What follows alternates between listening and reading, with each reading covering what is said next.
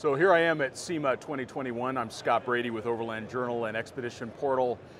And this show has really evolved through time. I remember 2005 when I brought my Tacoma to this show and I had a roof tent on it and it looked like it was from another planet. No one had ever really seen one. Everybody wanted to crawl up inside it.